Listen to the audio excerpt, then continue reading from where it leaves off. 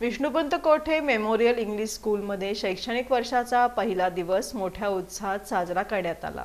बुधवारी शालेय शैक्षणिक वर्षाचा पहिला दिवस होता. विष्णुपंत कोठे मेमोरियल इंग्लिश स्कूलमध्ये शैक्षणिक वर्षाचा पहिला दिवस मोठ्या उत्साहात साजरा करण्यात आला. कोरोना संसर्गामुळं तब्बल अडीच वर्षांनी शाळेच्या शैक्षणिक वर्षाची सुरुवात झाली. त्यामुळं विद्यार्थी आणि पालकांमध्ये उत्साहाचं वातावरण होतं. विद्यार्थ्यांचं स्वागत त्यांचं औक्षण करून आणि गुलाबाचं फूल देऊन करण्यात आलं. यावेळी कृष्णाहारी दुस्सा हे प्रमुख अतिथी म्हणून लाभले होते. या कार्यक्रमाला संस्थेचे अध्यक्ष देवेंद्र कोठे रमेश यन्नम सत्यनारायण गुर्रम निर्मल कुमार काकडे शाळेच्या प्राचार्या पुष्पा नायर यांची प्रमुख उपस्थिती होती. प्रथमत मान्यवरांनी दीपप्रज्वलन केलं.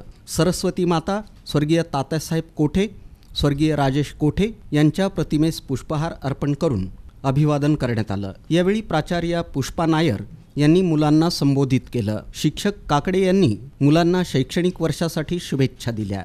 याप्रसंगी शिक्षकांनी आणि इयत्ता चौथीचा विद्यार्थी कृष्णा गायधनकर यानं आपलं मनोगत व्यक्त केलं. सूत्रसंचालन अश्विनी क्षीरसागर यांनी केलं. शेवटी विद्यार्थ्यांना खौचं वाटप करण्यात आलं.